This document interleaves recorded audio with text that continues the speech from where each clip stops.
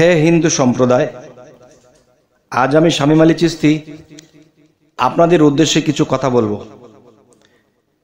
যে উদ্দেশ্যটি হলো কি, আপনারা জানেন, আপনাদের গ্রন্থ, একটি হলো গীতা, আরেকটি হলো ভগবত গীতা।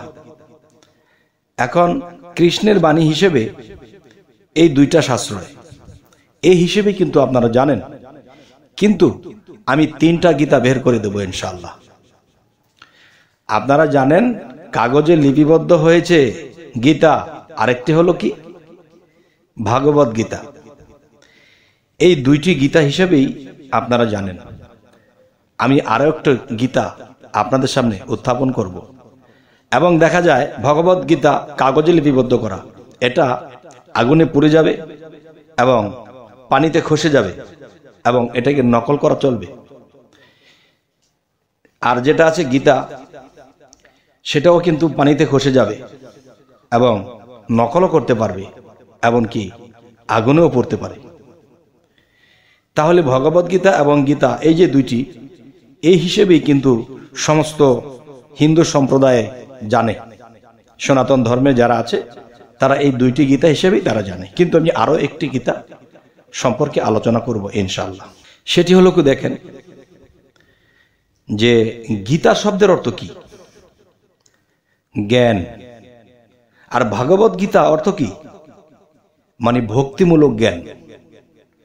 একটা হলো জ্ঞান আর একটা হলো ভক্তিমূলক জ্ঞান। তাহলে ভক্তিমূলক জ্ঞান এবং যে এমনি যে সমস্ত ধরনের জ্ঞান, সেই সম্পর্কে আমি যাব না। আমি যাব যেটা, সেটা হলো কি? গীতা, ভাগবত আর গীতা।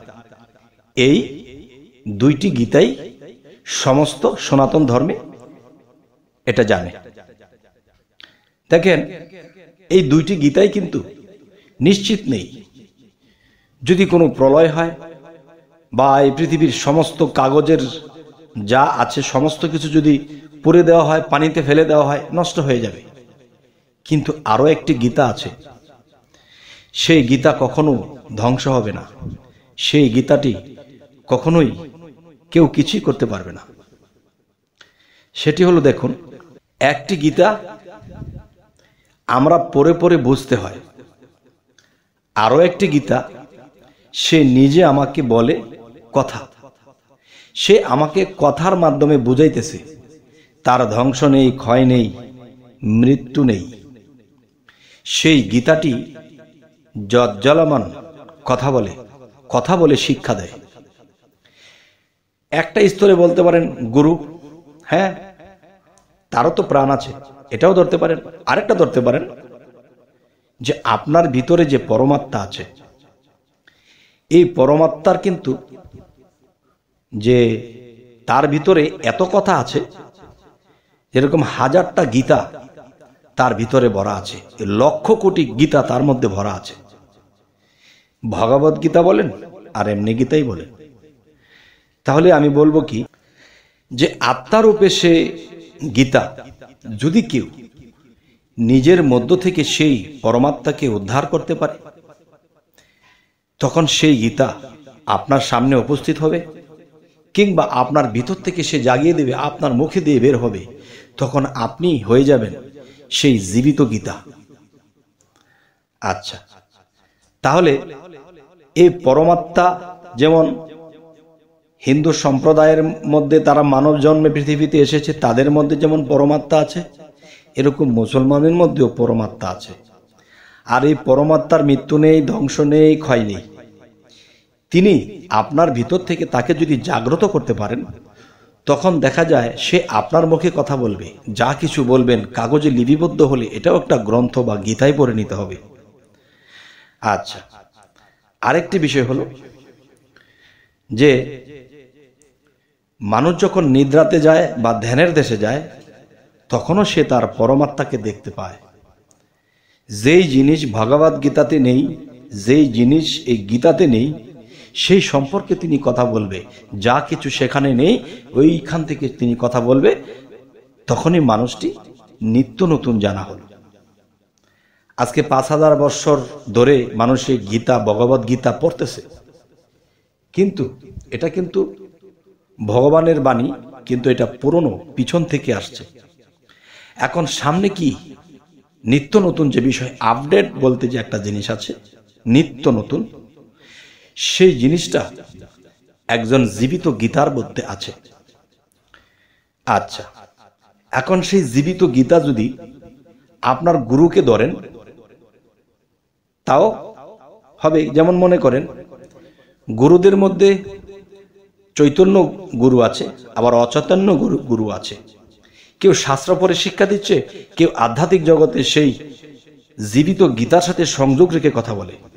গুরুও কিন্তু কয়েকটা পারে যেমন হিন্দু শাস্ত্রের মধ্যে একটা কথা বলা হয়, স্থল প্রবত্ত সাধক সিদ্ধি।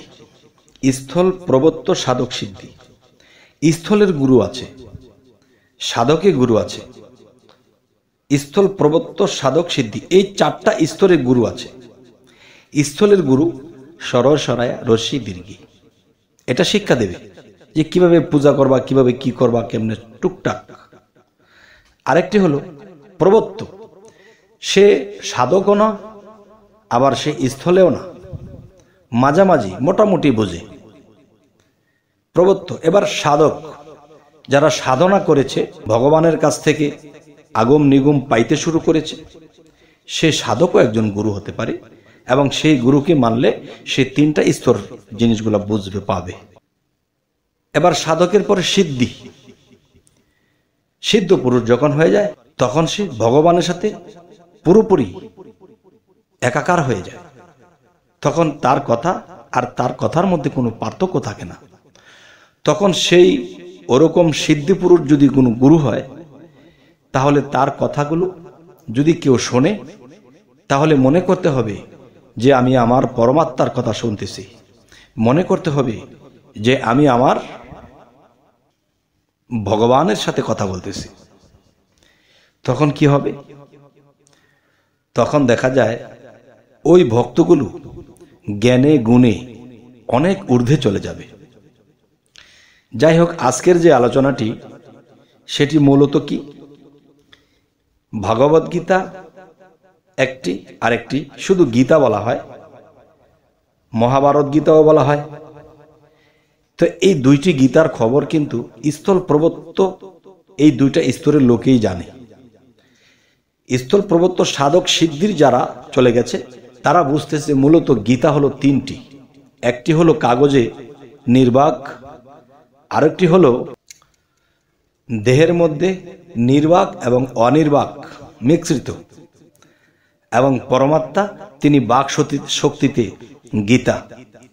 জ্ঞান আর জ্ঞান, যার জ্ঞানের কোনো শেষ নেই, তার জ্ঞানের কোনো অন্ত নেই আর সেটি হলো যে সিদ্ধ পুরুষ নিজের মধ্যে পরমাত্মাকে জাগ্রত করে তার মুখে কথা বলে, কিংবা স্বপ্নযোগেও গিয়ে কথা বলে, এবং ভক্ত কোন সাধনা করলে সেও সেই পরমাত্মাকে উদ্ধার করতে পারবে, এবং সে নিজেই একদিন জীবিত গীতা হয়ে যাবে। তবে হে জগতের সমস্ত হিন্দু সম্প্রদায়, আপনাদের সামনে আজকে এই কথাগুলো তুলে ধরলাম। কিন্তু আমি মুসলমানের জন্যই বেশিরভাগ বলে থাকি। তাই আজ হিন্দু সম্প্রদায়ের জন্য বলেছি, মুসলমানের ভালো না লাগলে শোনার কোনো দরকার নেই। আর হিন্দু, বৌদ্ধ, খ্রিস্টান, মুসলমান আমার কাছে সবই সমান। যেমন একটি কবিতাতে লেখা হয়েছিল আমার, হিন্দু, বৌদ্ধ, খ্রিস্টান আমি আমি মুসলমান মানব স্রোত জন্ম নিয়ে দেখি সকলই সমান। গীতা শাস্ত্র আর ত্রিপিটক বাইবেলেতে পাই, কোরআনের বাইরে কিছু নাই, করে দেখো প্রমাণ। যেই সত্যতে মাইনুদ্দিন আর আসছে বড় পীরে, কোন সত্যতে লোকনাথ বাবা হইছে বিরাজমান, সকলই সমান।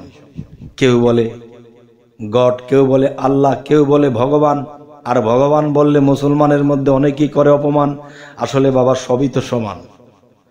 যাই হোক, আজকের এই আলোচনাটি আমি হিন্দু সম্প্রদায়ের জন্য করলাম এবং তাদের কেমন লাগল তারা যেন আমাকে কমেন্টে জানায়।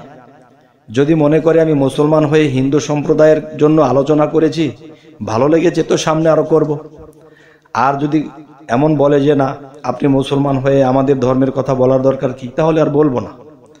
তো অবশ্যই আপনাদের কমেন্টের উপরে নির্ভর করবে যে আমি কথাগুলো কি ঠিক বলেছি না ভুল বলেছি। আর আমি গীতাকে তিনটা পাঠ করেছি। তো তিনটা পাঠ করাতে কি আপনারা বেজার না খুশি? অবশ্যই জানাবেন, নাকি হলাম দোষী? তো আমাদের চ্যানেলের কথাবার্তা যদি আপনাদের ভালো লেগে থাকে, অবশ্যই পরবর্তী আকর্ষণের জন্য সাবস্ক্রাইব করে রাখুন। পরবর্তীতে আপনাদের সামনে উপস্থিত হব। সকলেই ভালো থাকবেন।